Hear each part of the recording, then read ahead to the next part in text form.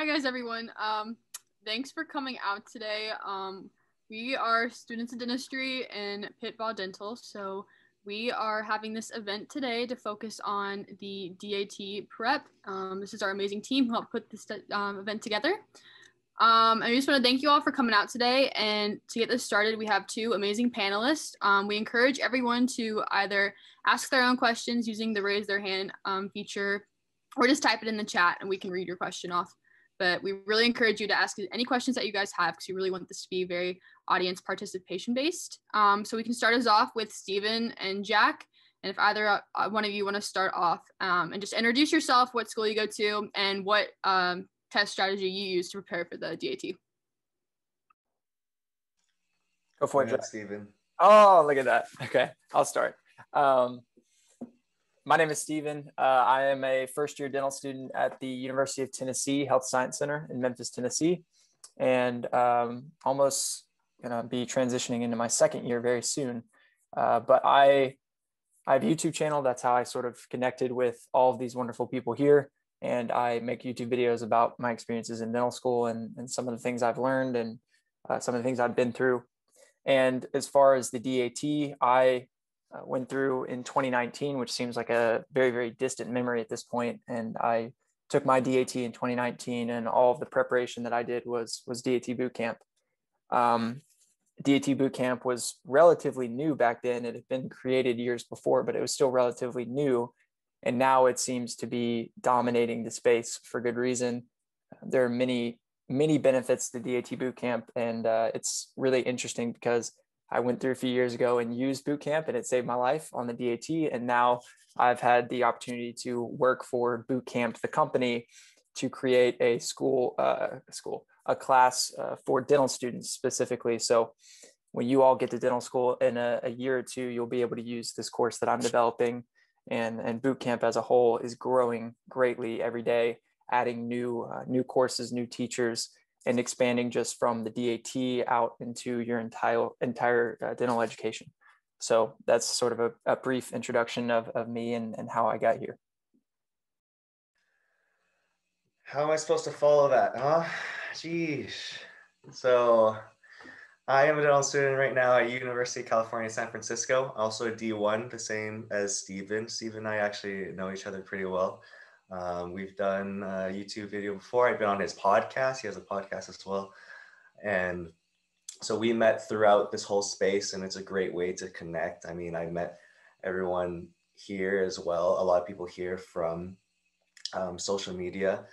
Um, in terms of the DAT, I would say, I mean, I used DAT Bootcamp as well. Um, and DAT Bootcamp was pretty much the only one, only program in the scene. And it was uh, extraordinary program. Uh, it helped, you know, it's 97 people, 97% of people use DAT Bootcamp to study. Um, I've worked for DAT Bootcamp um, as well, as well as DAT Booster, which is a completely new program. I recommend them both heavily. I did, really didn't know about DAT Booster uh, until uh, they really like reached out and I got to experience the program and they got a lot of good stuff on there as well. So I think both of them are great resources. If you can, definitely get both. Um, and then don't ask me if you're only choosing one because I really don't know the answer to that.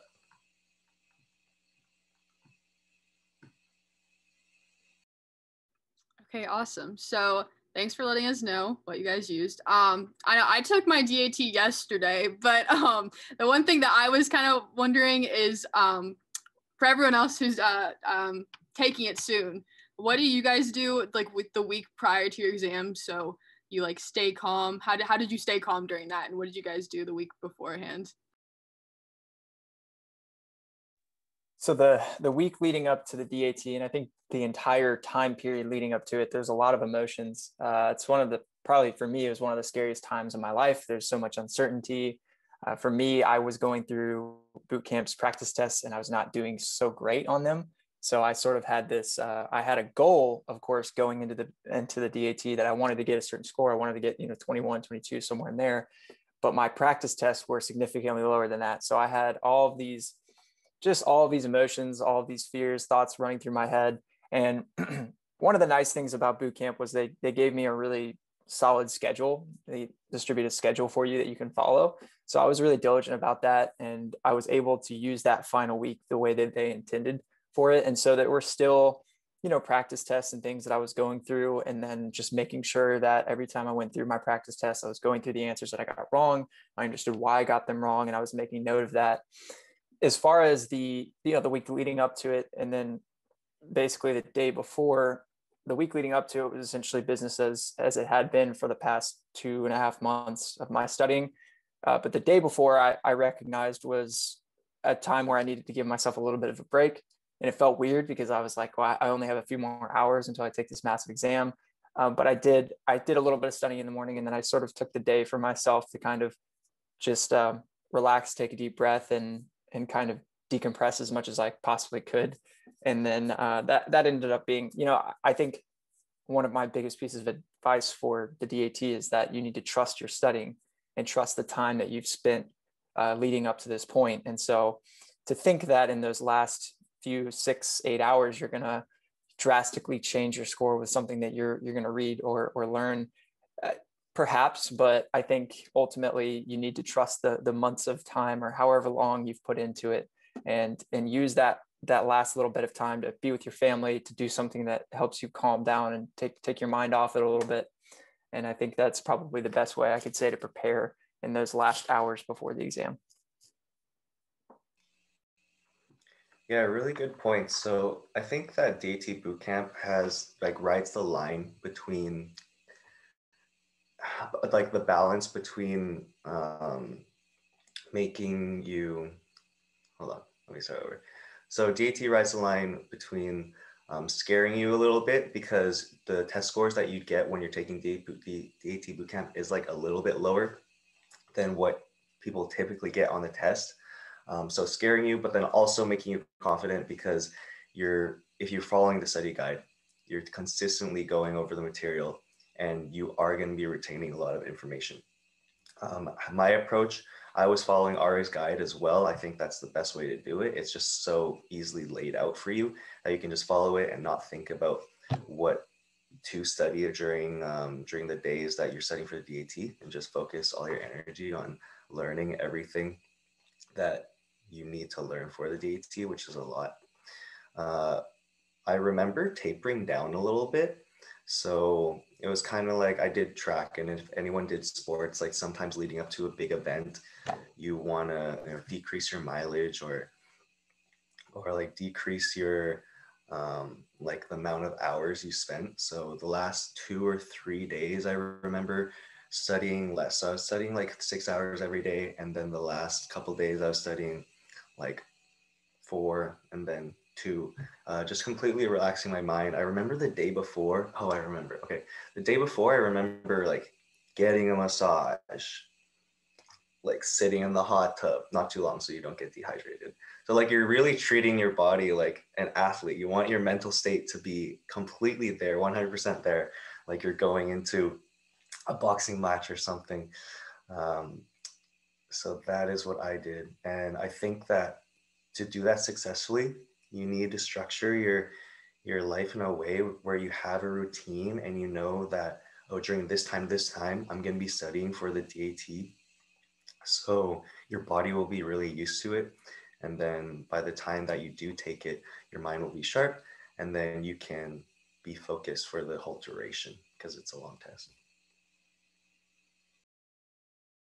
Thank you for that answer. Um, so another question that was asked in the group chat, I believe Munsif was like, I think his question is, tell me if I'm wrong, but I believe he's asking if using one resource, just like you know the DAT bootcamp, is that um, sufficient? Would you recommend using more than one resource? Is that kind of overkill? You know, um, yeah. Do you guys have any experience like juggling more than one resource for DAT prep? So my my theory on this is that everybody's different. Everybody in this Zoom meeting is different. We're all different. We all have different strengths and weaknesses. So I think for some people you'll be fine to just go through and stick with one resource. But what I would advise is, and once again, I'm going to keep talking about bootcamp because it's what I know and it's what I used. But bootcamp when I was going through boot camp, it gave me everything that I needed. But if there were certain things that I didn't know as well, or I just wasn't able to learn, that's when I would have gone out and looked for another resource. For me, I was really bad at math. I'm just extremely horrible at math, just in life, like in general. And so if I, and actually in, in retrospect, I probably would have gone back if I had a little bit more time and I'd known how bad I actually was at math, I probably would have gone back and gotten a specific resource to help me with that section alone. And so I think that what you should do with this is go through whatever major program you're using and start to understand what you're learning and what you're not learning. And when you go through your practice exams, figure out what you're performing well on and, and maybe what you're not doing so well on. And if you need to add an extra resource, like an organic resource to help you with that section, then do it. But I wouldn't, I wouldn't think that, or I wouldn't go into it thinking that I'm only using one resource and therefore I'm not going to succeed because that's certainly not the case. I more or less agree with with Stephen there. So I think DAT bootcamp, what I took was completely sufficient to uh, to study for the DAT. They also, if you look follow the the guide, they also you know want you to buy DAT with Destroyer, Math Destroyer, all of that. Um, I think that personally it was overkill, but I also didn't get like a 30 on the DAT. So I know that some people do say that it's worth it um, but I think because DAT Bootcamp has such a vast selection of resources and so many different tests that I was having trouble going through all of it anyways. So there was no need for me to go and do the DAT Destroyer book or seek out another resource. I mean, at the time, there wasn't any other resource. Uh, I think more or less the same, you're going to get the same experience with uh, DAT Booster uh, because for one of the projects I did with them, I had to do a lot of research, and it seems like the consensus is that the that the practice tests are really similar to the actual DAT. So if money wasn't a factor, um, get both because you want you know the new practice test questions, right? And then you can try and get like the best of both worlds and different programs might have different strengths. I don't know if dat bootcamp has updated they probably have um, updated their program since when i took it in 2018 uh, but i know like dat booster has uh, like some 3d functionality when you're looking at pattern folding or you know just different explanations that you're going to get for questions as well. So the more knowledge the better the more you study, the better, of course, quality and quantity. Um, but you definitely can do well on the DAT if you just choose one of them. Okay, um, thank you for those answers. We do have another question in the chat. Uh, Swati is asking, how many months did it take to prepare for the DAT? I'm planning on taking it by the end of the summer or September. You want to take this one first, Jack? For sure. Um, so I remember studying for the DAT. It was actually during the summer as well. So I took it between my sophomore year and junior year summer. I decided to take it early, just finished all the main sciences. That was the bulk of the DAT. Anyways, so I took the entire summer, and I think it's definitely enough time because um, I don't know if you have like a part time job, um, definitely able to that. If you have a full time job, a little bit harder. But I'd say how I structured it was I would have a three hour session in the morning. So I'd wake up, work out, eat, three hour session until like 1 or 2 p.m., take a lunch break, and then do another three hour session. And that would just be it for the day. Um, if you can do that consistently and be focused, I, I think that's definitely enough time when I was researching how long to study for the DAT, I believe the consensus was around 300 hours, if I'm not mistaken. Uh, I definitely took longer to study for the DAT than 300 hours.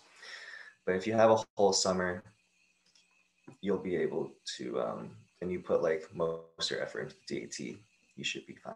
Um, thank you. I also um I am working a part-time job during the summer. Like I work as a dental assistant too. So that's why I didn't know if it would like interfere because I do work like seven, eight hours whenever I do work. So I didn't know. So seven to eight hours a day. Uh, yeah, but I'm trying to not work like as frequently, like maybe one or two days a week instead of like four days a week, like I did last summer because it's the same place I worked last summer too. Yeah, I mean, you always have to be working on all parts of your application, right? Yeah. So I think what you're doing is great. If you can get it down to one or two days a week, though those days can be like your break days as well, Okay. which you'll need to put in anyways, at least one day a week of just break. So um, it's it's, it's definitely doable. Thank you. Yeah, I agree with all of that. And I think once again, I'll, I'll say this again for this question. I think everybody's different and it depends on your obligations and how each day looks. For me, uh, I think I studied in total, it was probably about two and a half to three months. But the first, so my, my originally planned to take it like late May. And then what happened was I started studying while I was in school. So I was in a regular semester of undergrad and I started my studying and I was doing pretty well with that until finals week came around for school and I didn't touch any DAT material for an entire week. And it threw me off my schedule and I got really nervous and upset. And so what I ended up doing was rescheduling to June 11th. So I just pushed it back a little bit, which I was nervous about because that changed when I was going to actually apply, which kind of a different situation, but it ended up being really good because I had that extra time. So I think a really important thing here is go ahead and as soon as possible do sort of whatever calculations you need to do and get a date scheduled because having that date on a calendar that you can see and you can sort of count down to is really really important. And it'll also help you to understand how much you need to put, like put in every day or every week. Um, and also too I, I i'm assuming it's still probably the same way. It can be difficult to schedule a time for the dat because the time slots fill up pretty quickly. At least they used to when I when I went through. So having it on the calendar and set is a really like solid thing. It's also mentally it's nice to just know that's when it is. I have this many days left, or, or however else you want to do it. Great, thank you. So our next question is regarding like the actual exam. Um, what are some specific strategies you guys have uh, when taking it regarding timing specifically? The, the timing thing is was interesting for me because that was a really important thing that I needed to deal with. Um, and so I had this plan for the, the science section is the first section you take. And I, the way I had been taking it was, if I remember correctly, I would skip. I, you guys are going to have to remind me, what's the order of the science section? It was bio, Gen Chem, and then OChem. Okay. So I, I would go I basically left Gen Chem for last because I didn't like Gen Chem. So I would go through the those the bio and the organic, and then I would get to the Gen Chem because my theory with that was let's get through the questions I'm likely to get right, and then go to the ones that I'm gonna have a little bit more trouble with.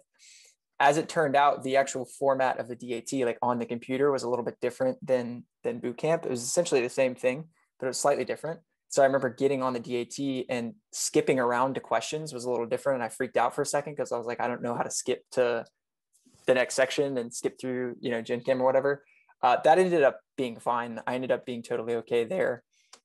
The one thing that sucked for me was that the math section, once again, I said I had trouble with the math section. I had a, um, I don't know if I should say this. I don't want to make you guys nervous. This was just my experience. I, they give you like a, a laminated piece of paper and they give you a couple expo, you know, dry erase markers for the math section, well, for the whole thing, but for for the math section. And I had been practicing all the way through with a pencil and paper. So all of my math when I was practicing on my practice test was like tiny. I could, you know, I could just fill up an entire page with a bunch of little calculations. But got on the actual exam, I had this thick expo marker and I, I, I didn't actually write this calculation, but two times two equals four was like huge because I couldn't get, the marker was massive. And so it completely threw me off on my timing. And I ended up kind of not doing great on that section, which is okay because math isn't necessarily the most important section of the DAT. But um, I guess the, the point of that story is if there's something that's on the test that's bothering you, like there's something like that, like the marker's really thick and you need like a newer one that has a finer point, don't be afraid to ask the people that are overseeing your exam because it's really important that you have the ideal um, conditions for your exam. And so just a, a, little side story, don't get freaked out by that. That was just my experience. And uh, obviously it didn't derail me from, from going to dental school, but uh, timing is really important and and when you when you are studying it's absolutely something you should be doing is is simulating the actual exam and trying to work on some of these strategies to help you with your timing.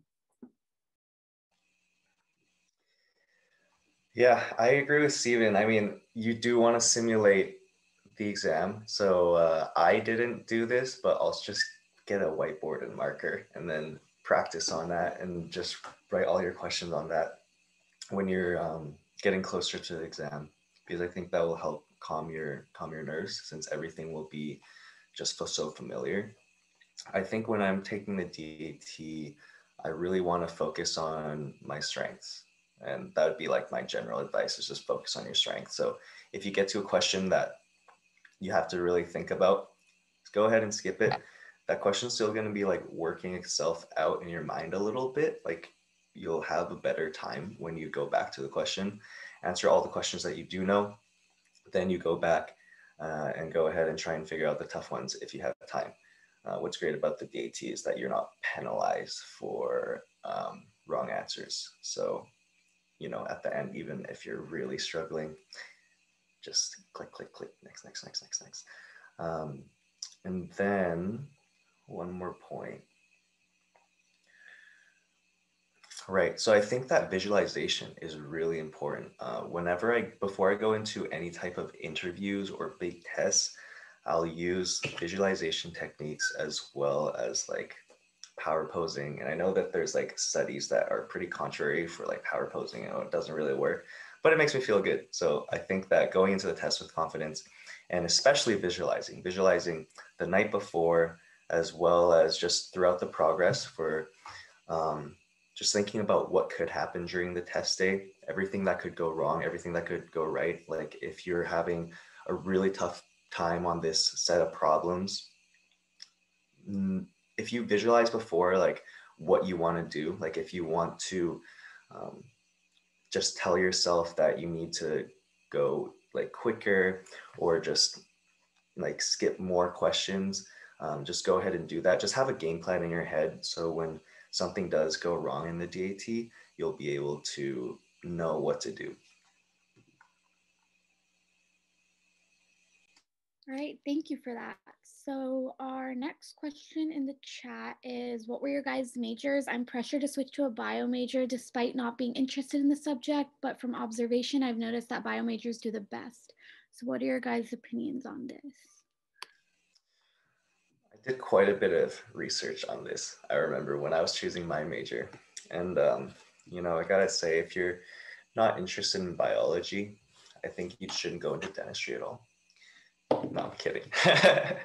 no, literally, you can choose any single major that you want. And there's actually, I looked at so many statistics for this. And for biology majors, the percentage of biology majors I apply to get into dental school or medical school that actually do get in, like the percentage, the proportion is lower than other majors. And this is why. So everyone is going in as a biology major, chemistry major, whatever, right? So it's really mundane. It really doesn't make you stand out. You need to be on top of your game for all the other sections, you know, extracurriculars, volunteering, shadowing, all of that in order to stand out on your application. Because that's who you're going to be you know comparing yourself to when when they're like looking at the application the benefit to that is that you're learning a lot of the core science courses and stuff that they're going to be testing on the DAT. So the DAT is going to come easier.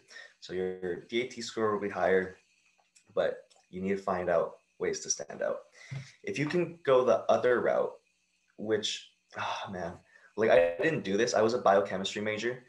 Um, but I would recommend if you really are set, or even if you're leaning moderately to heavy towards a major that isn't science related, just to go for it. Because when the mission counselor gets your application and sees that you're a different major, let's say like your art major, history major, writing major, any of those, or any other ones. Um, they're going to be a little intrigued by your application. If you can have that major, you're not taking a lot of the core science classes that would make you do well on the DAT, right? So if you do as well in the DAT as someone with a science major, but you studied something different, they'll be impressed by that. Um, so the percentage of people that are like non-science majors that apply, actually a higher proportion of them get in. Yeah, at least from three years ago. Topic and um, actually, my major scored the lowest of matriculants, I believe. I'm health and exercise science, and um, when I did check those stats that you were talking about, I believe English was the first one, which was kind of interesting. But um, mine is the lowest, and I'm like, it's not far enough to make me unique, but it's also not super close. I just don't like ecology stuff. It kind of drives me insane. I do not care about plants or frogs.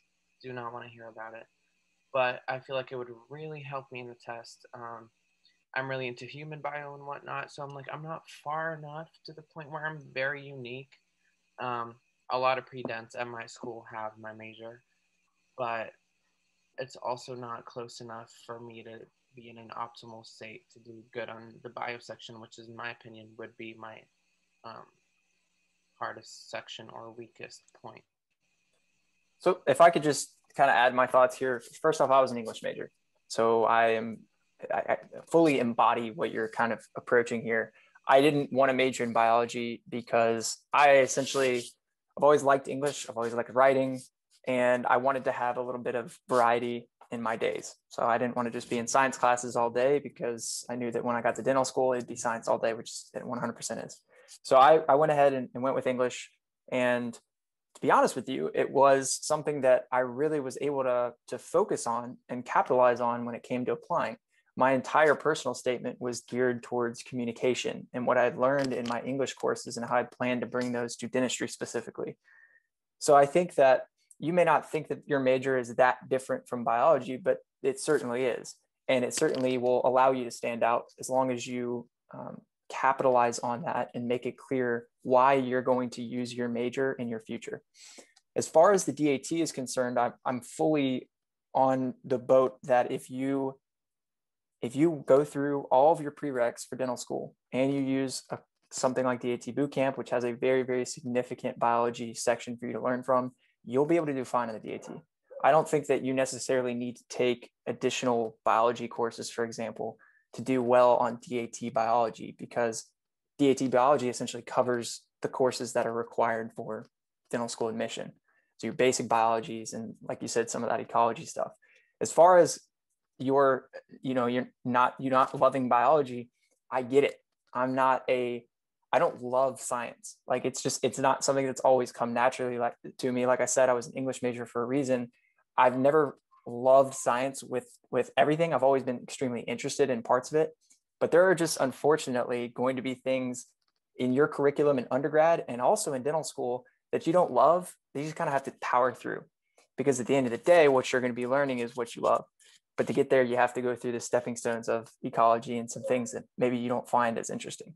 And so power through them and trust that if you're if you do obviously you're taking your prereqs um, taking those and you're doing your best in those and you're you're approaching the dat and and putting a lot of time into those sections and really learning that material i don't think that not majoring in biology is is going to be any sort of detriment to you at all. Yeah and my major does follow a narrative. It's not just out of the blue i am a fitness instructor I have been doing it for years. There you go um, so maybe. So you're like, that's the thing that I always try to tell people is a lot of people think that they're not unique when it comes to applying for dental school. And I had those same feelings. But if you really sit down and think about your life and all of your experiences and how they've taken you to the point where you're at right now, and then also your education and what you, the, the decisions you've made to get there, you will find unique aspects of your life. And it's really important to talk about those on your personal statement, which we're not really talking about in this, in this, but there is a unique story that you have. Everybody has one, and so that's I I wouldn't worry about about that honestly. Thank you so much. Also, I love your guys' videos. I've just started listening to your podcast on uh, on the Apple, yeah. and yeah. yeah. I love your videos. Super high definition, by the way.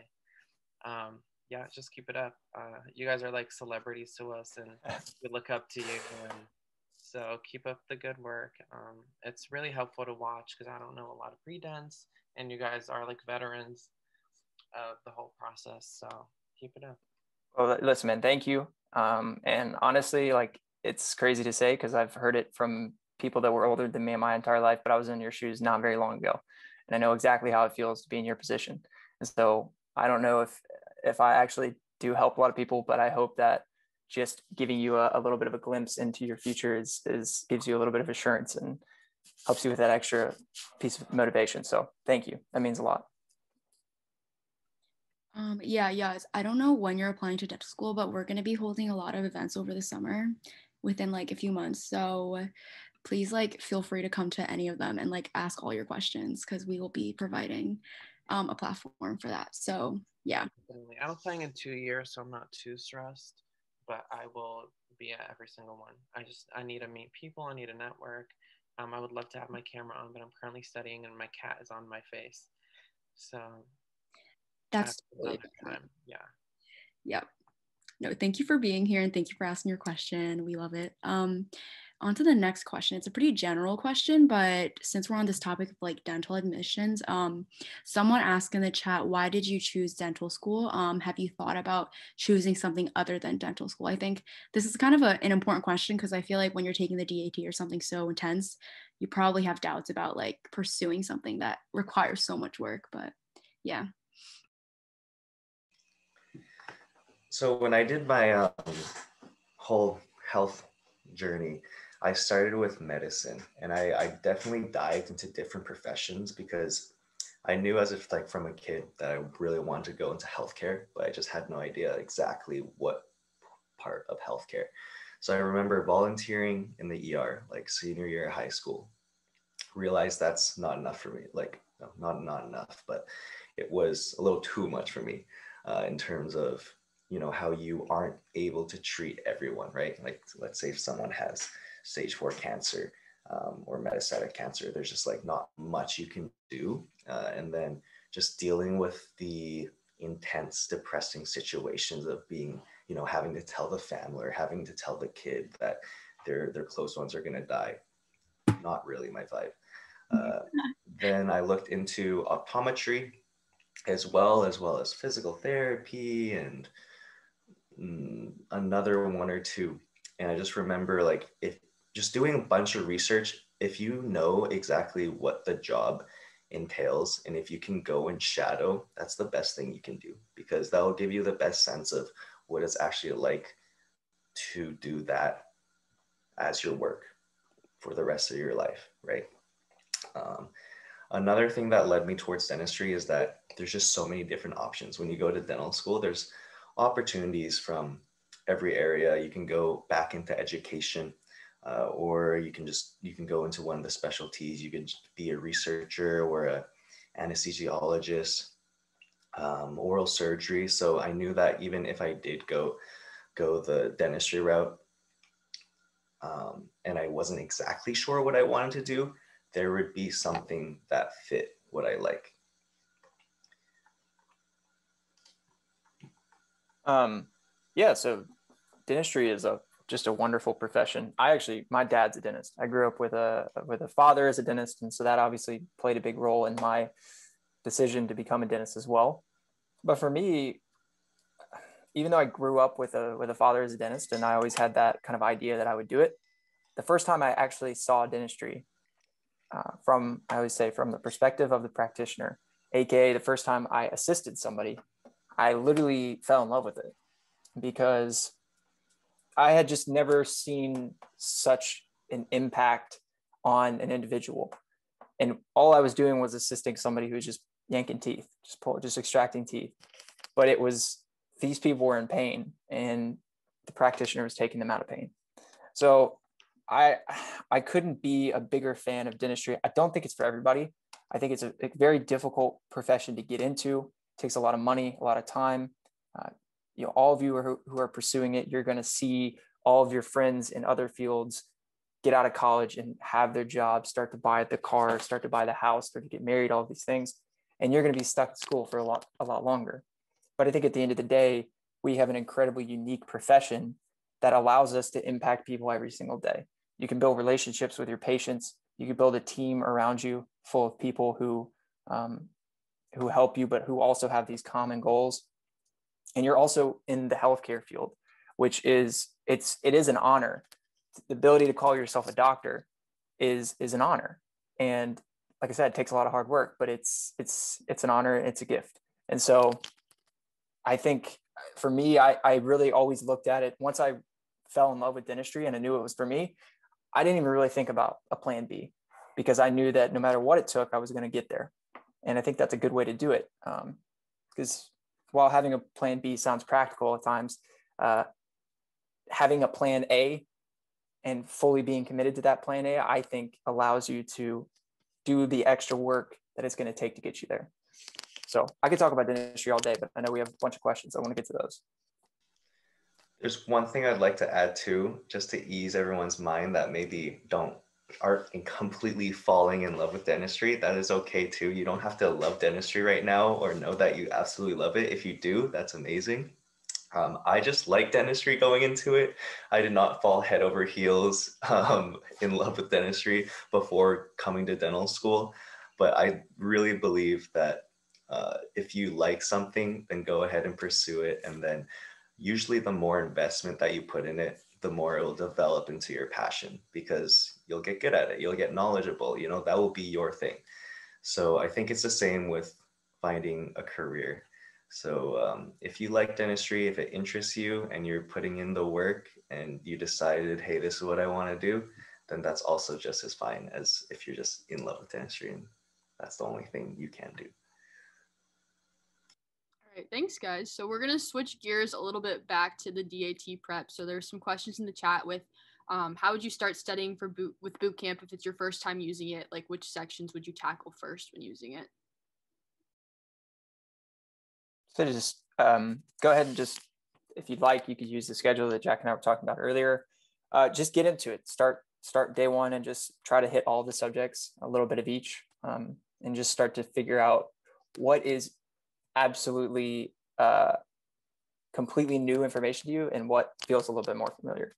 And in that first week, you'll be able to figure out, okay, biology's coming pretty naturally to me. I remember all of these topics, but OChem is like, uh, it's not going well, whatever. So just start in the beginning with all of it, and then you'll be able to sort of tailor into the specifics. I will say, I think that you should put in time to uh, the perceptual ability test every day whether it's 15 minutes, 20 minutes, just put in a little bit of time um, because PAT is not knowledge. It's 100% repetition and practice. I have I have a theory that some people might be a little bit more naturally inclined to be able to visually maneuver things in their mind, but I think that ultimately everybody with enough practice would be able to do really well at the PAT. Um, so yeah, that's my thoughts. Yeah, this is pretty pretty simple question. I mean, I would say just follow Ari's study guide because he lays it out so well for you. Um, and then when you are studying and you're reviewing questions and you're reviewing the practice tests, that's when you're going to spend more or less time on certain subjects than others because when you when you're like doing a subject that you aren't very great at you're going to have more wrong there you're going to have like less understanding and like good grasp of the subjects and that's when you spend more time when you're going over the problems to really figure out every single answer choice and why something's wrong or why something is right. Um, but I think if you follow the study guide, it just makes your life easier. Okay, thank you for those answers. Um, Moonsif is asking in the chat, how many times did you guys take the test? And I guess just to add on to that question, how many times should you expect to take the test to get the score you want? So I believe most people take it once, but a lot of people take it two times or even three times. I mean, if you're on the DAT bootcamp study group, you'll find people from every avenue of life and some people that have taken it, you know, three times, a bunch of people that have. So that's like completely fine. Um, but it comes with a caveat because the dental schools will see every single test score that you take. And it's not like another exam like the CBSE. The CBSE is like the medical school entrance exam, but like dental school students have to take it if you want to go into oral surgery. That one, it's like everyone takes it two or three times, and that's the norm. So if you're when you're taking the DAT, since a lot of people are just taking it once or twice, you really want to nail it down those couple of times Um, I remember taking it, so I took it one time the summer of 2018 between my sophomore and junior year, and then I got a 19. So a 19 was not, you know, it's like below average for people that get accepted. But DAT takes a lot out of you and it, you know, it's going to take a whole summer away from your life pretty much, you know. So I remember studying, I completed the rest of my application, my, but the rest of my application was looking good. So I actually tried to study for the DAT the following summer. And my mind just wasn't in it like it was the first time. So I studied during that summer and I did sign up for a test.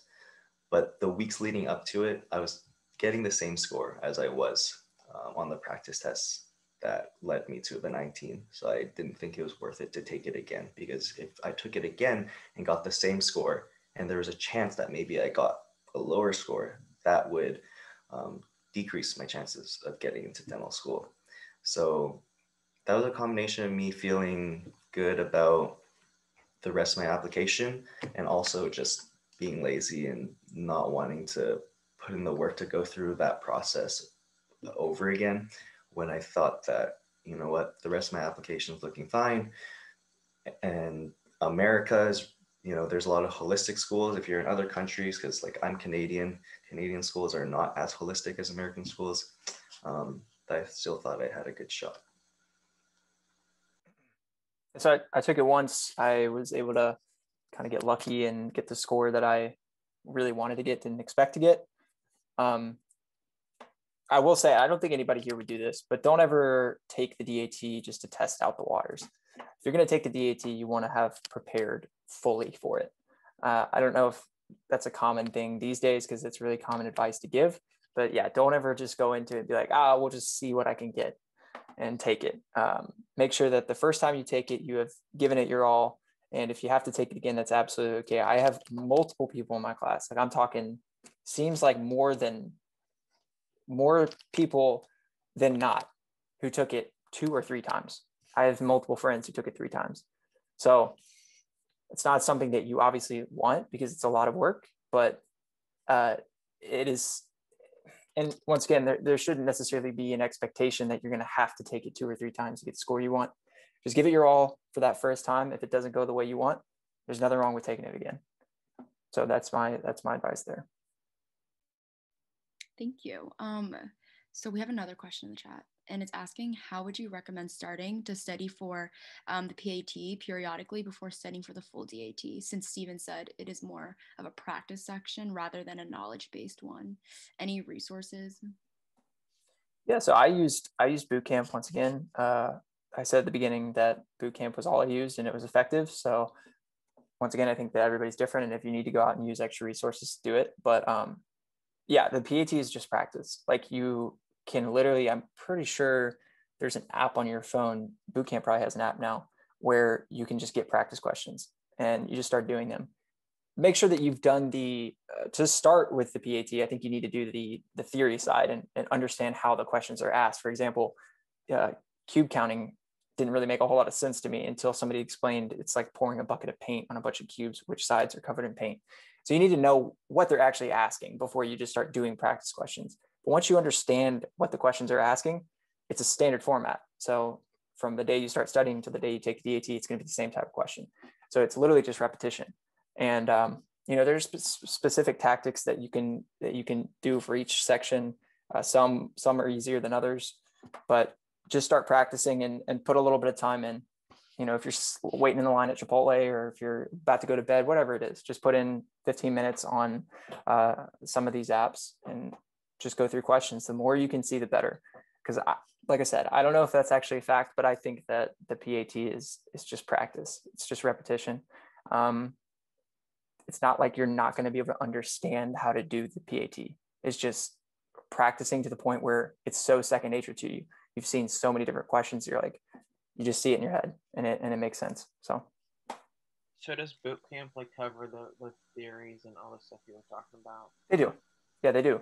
Yeah, they have uh, the beginning of each section of boot camp is is a video series.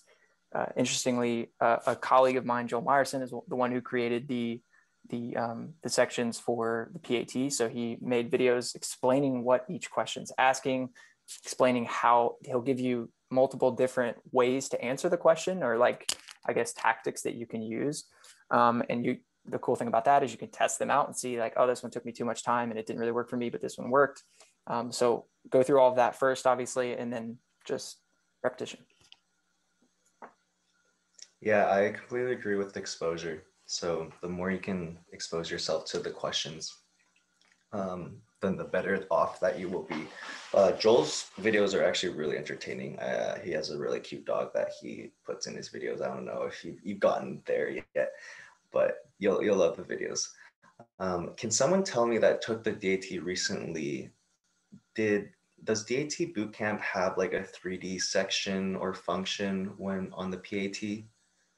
They they did for um like the top front end that helped me a lot so you can like visualize the actual shape i think helped nice okay um yeah so top front end uh again both softwares like dat bootcamp and dat booster are going to be great um, i think for the pat section if i were to take it again I would actually use um, DAT Booster just because I know that they were specialized in the PAT section. Like before DAT Booster was DAT Booster, it was just PAT Booster.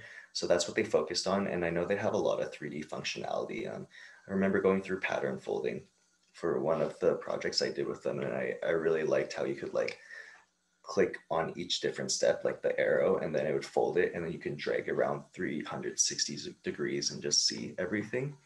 Um, but both softwares are going to be great, uh, and the longer you can study for it, the better, unless it's angle ranking. Angle ranking, you know, like the, the curve that you learn is like, it's pretty steep at first, and then it just levels off. There's, uh, you can study angle ranking for every single day for the rest of your life and you you still apparently you know won't be able to to do you know get a perfect score for some people unlike all the other sections of the PAT so as soon as you see that angle ranking is just completely leveling off if that happens to you then just focus on the other parts of the PAT because all of those you can improve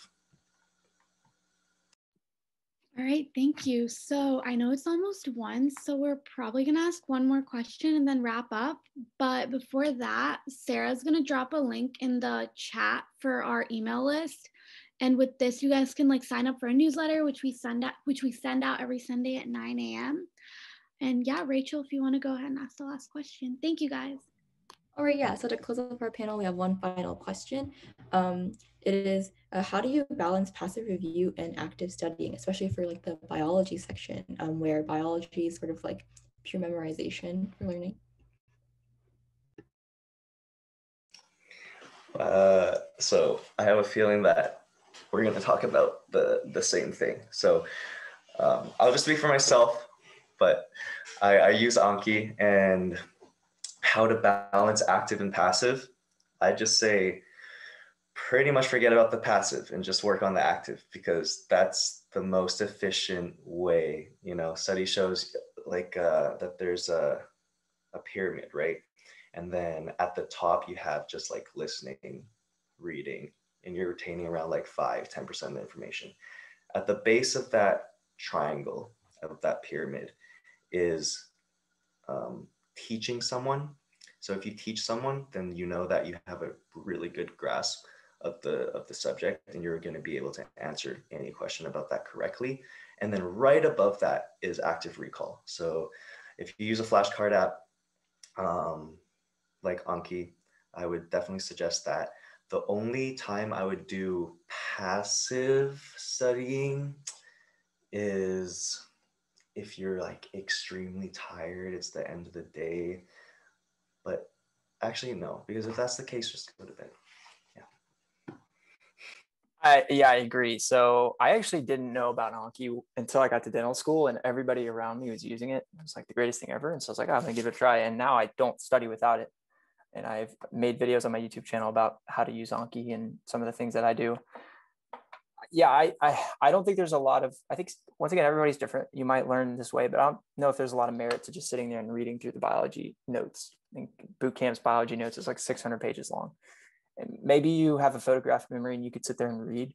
But for me, what I would do is, and I think actually boot camp actually has a uh, an Anki deck now, but if so, I would I would take that information and make it into questions in the form of flashcards. And then instead of seeing uh, a, question that's asking you about the ACL and, and, and which movement would tear the ACL, you're asked that question and you have to go into your brain and, and pull that out. So I think that there's almost no room for passive studying unless it's really something that's effective for you. I think everything you should be doing is is active, and that's the way that that these studying for these tests is, is structured now. Uh, practice tests are active studying. And so it's kind of like practice how you play. So when you, the, the best form of practice from when I played sports years ago was when we actually would scrimmage and simulate a game. Um, so, so go in there and, and simulate your studying and try not to just sit there for hours and read notes because you might actually just spin your wheels and waste time and not get a whole lot done unless it's like i said something that you're really uh, something that's really effective for you.